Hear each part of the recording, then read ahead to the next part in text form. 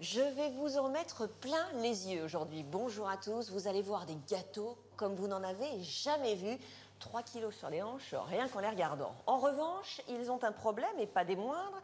Certains d'entre eux, ce n'est pas le cas ici, sont faits non pas sur place par votre commerçant de quartier, mais sur les chaînes de fabrication de l'industrie agroalimentaire. Moins de stock à gérer, moins de frais de personnel, moins de soucis de formation. Tiens, un exemple concret, mon préféré c'est l'éclair au chocolat. L'acheter à l'industrie coûte à un pâtissier 70 centimes. Le faire lui-même sur place revient à 1,30€, vite vu. Alors certains artisans cèdent au chant des sirènes et nous, les gourmands, on se demande comment différencier dans une vitrine un gâteau fait maison d'une pâtisserie industrielle. Pâtisserie, le beurre et l'argent du beurre, c'était facile. C'est une enquête signée Laure de l'Alex.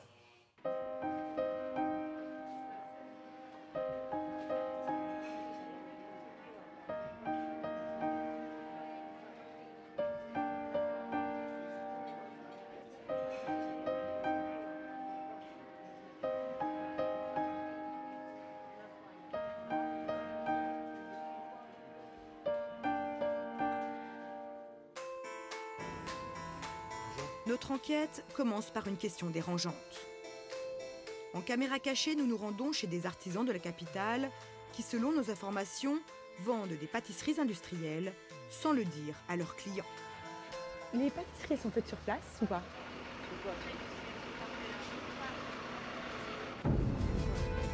Une seule de ces vendeuses nous aura dit la vérité. Le reste du temps, les réponses sont très imprécises, voire agacées. C'est vraiment fait sur place. Oui, oui, madame. L'artisan de boulangerie, c'est écrit sur la façade. Tout est fait sur place ici, madame. Vous pouvez pas je vais pas vous mentir. Ouais. Tu sais euh, d'où ça vient nos pâtisseries Elles sont fabriquées sur place Oui, oui, mais c'est pas de, dans cette boulangerie-là que c'est une chaîne. La raison de cette loi du silence, nous la découvrons enfin dans cette pâtisserie où une première vendeuse commence par nous mentir.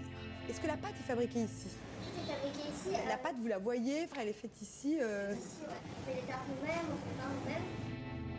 Mais soudain, une autre vendeuse vient à notre rencontre et lève le voile sur les pratiques de son patron.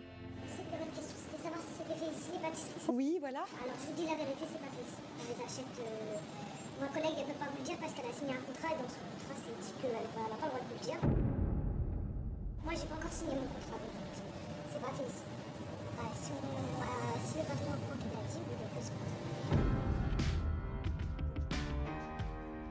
Des vendeuses tenues au secret par des artisans qui mentent à leurs clients. On est loin de l'image d'Épinal du boulanger-pâtissier, élu cette année personnalité préférée des Français devant le facteur et le pompier. À l'origine de ce problème, un vide juridique. Car si depuis les années 80, l'appellation boulangerie oblige l'artisan à fabriquer son pain totalement sur place, les termes de pâtisserie et de viennoiserie ne sont régis par aucune réglementation. Contre ces pâtissiers indélicats, certains artisans ont décidé de contre-attaquer. Blois, 5 heures du matin. Nous avons rendez-vous dans cette pâtisserie. Ici, tout est fait maison. Et dans le laboratoire, c'est le festival des saveurs et des couleurs.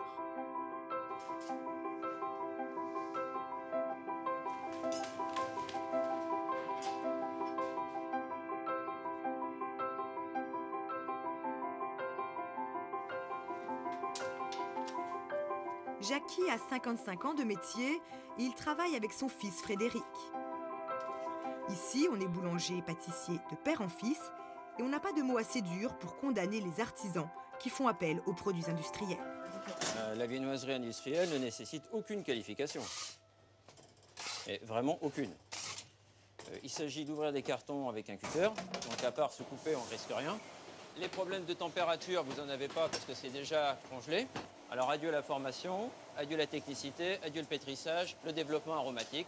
Et puis, euh, à terme, c'est évident, il y a un risque majeur de perte de confiance du consommateur, qui aujourd'hui est un consommateur extrêmement averti. On accuse souvent la loi sur les 35 heures d'avoir favorisé le phénomène. Mais le recours aux produits industriels remonte en fait aux années 70. Avant, il y avait beaucoup de partage, c'est-à-dire les livraisons dans les campagnes et tout ça. Donc c'est vrai que certains avaient des difficultés euh, à assumer euh, les livraisons euh, toute l'après-midi, la fin de matinée et tout l'après-midi, plus toute la production la nuit. Donc ça, c'était une des premières peut-être entrées de l'industrie dans le monde de l'artisanat. Car la fabrication maison coûte cher. Par exemple, pour réaliser ces entremets à 5 couches, à la régularité presque industrielle, il faut compter 6 heures de main-d'œuvre réparties sur deux jours.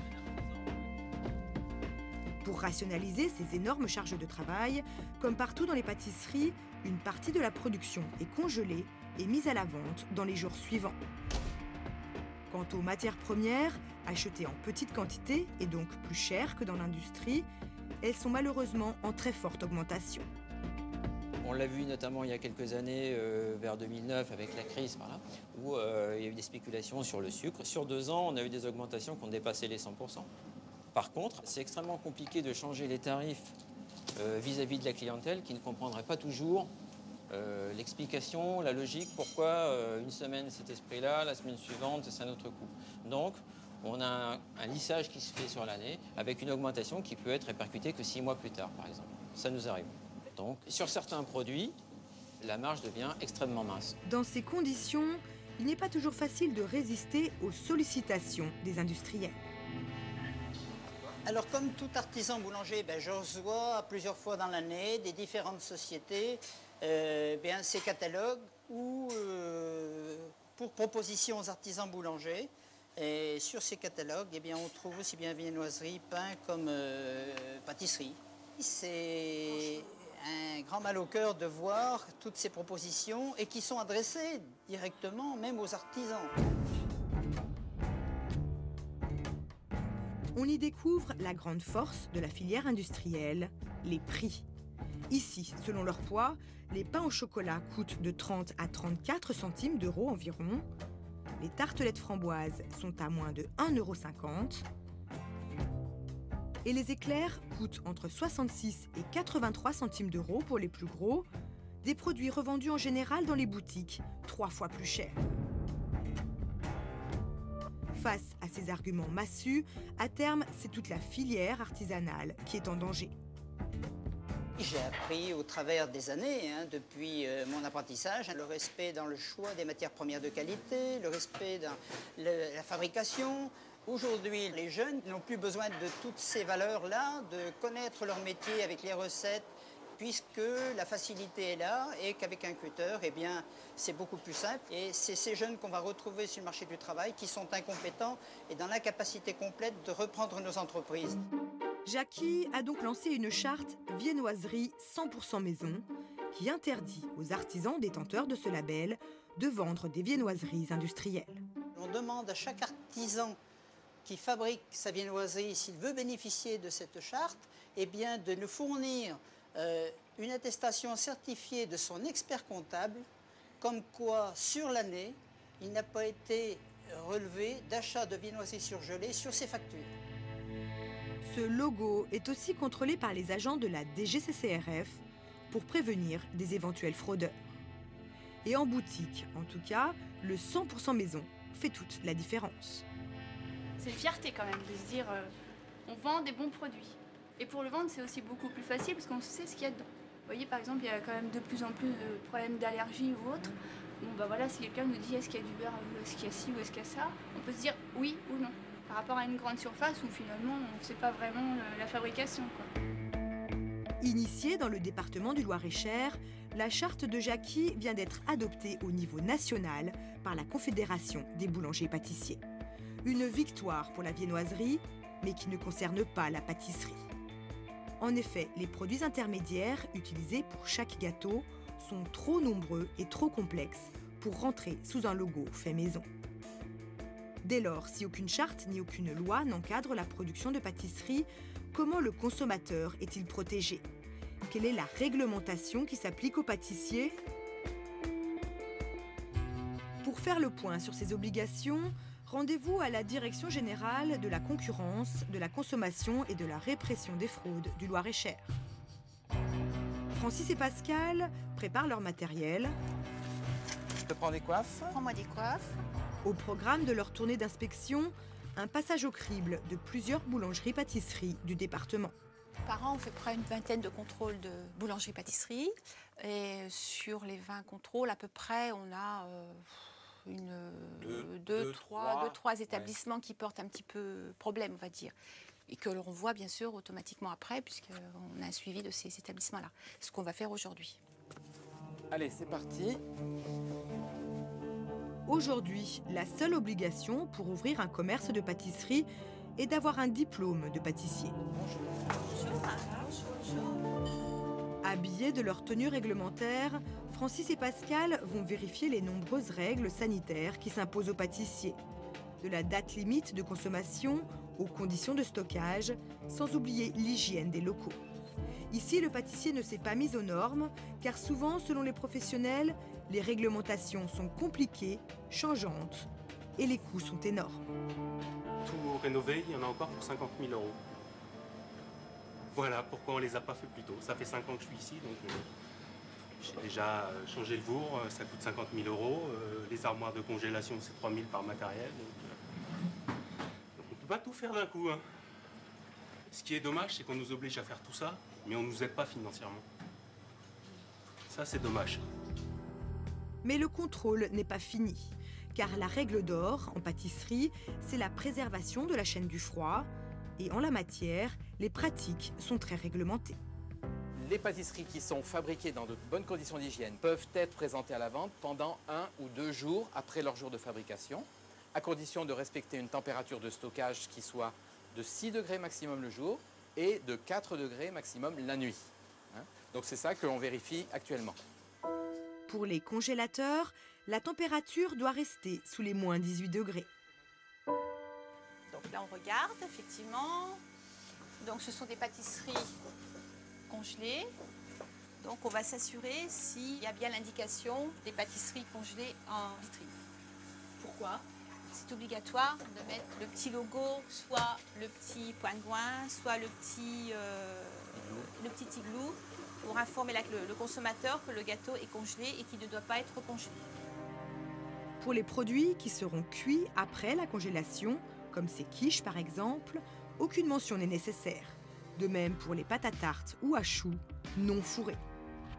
Pour tous les autres produits congelés, le logo est obligatoire. On le voit nulle part, ce pingouin. Ben, on le voit nulle part, mais on devrait le voir ou, ou- ou voir la mention euh, décongelée. Il y a un problème là, non? Ben, écoutez, euh, on est là pour ça.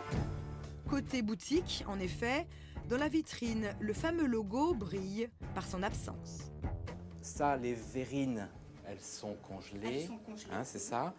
Après, je sais, l'invitation peut-être aussi. La base de oui, l'invitation. oui, oui. Donc, effectivement, là, euh, au niveau de l'information du consommateur, elle est incomplète. Oui. Hein. Aujourd'hui, le consommateur euh, comprend qu'on ne peut pas tout faire tous les jours, Non, compte tenu de la technicité des produits. bien sûr. Bien sûr. Et vous pouvez expliquer qu'effectivement, c'est vous qui le faites et que vous avez la possibilité Oui. euh, de, de reporter la vente au moyen de la Oui, congélation. oui, oui. Mais ce ce que, ce que la loi vous demande, c'est C'est de l'indiquer. d'indiquer. Voilà. Ici, toutes les pâtisseries sont faites maison, mais les professionnels craignent qu'un logo indiquant la congélation du produit soit mal compris par les clients. C'est pas simple à, à mettre en place et puis je pense que ça induit aussi le consommateur en erreur parce que pour lui un petit sigle avec euh, par exemple un pingouin, ça veut dire que le produit n'a pas été fait ici, on l'a acheté congelé. Ou alors après effectivement comme vous disiez, il faut carrément mettre un petit panneau en indiquant euh, qu'il a été fabriqué maison et qu'il a été euh, surgelé. Voilà. Parce que je pense que beaucoup de clients ne savent pas que les produits, la plupart, sont surgelés. euh, dans la plupart des, des boulangeries d'ailleurs.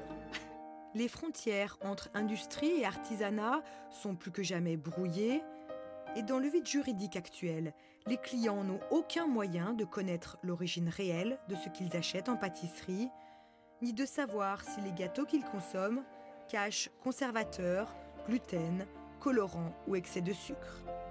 Des dangers potentiels qui mériteraient d'être signalés pour que les gourmands puissent continuer à se régaler sans risquer de bouder leur plaisir.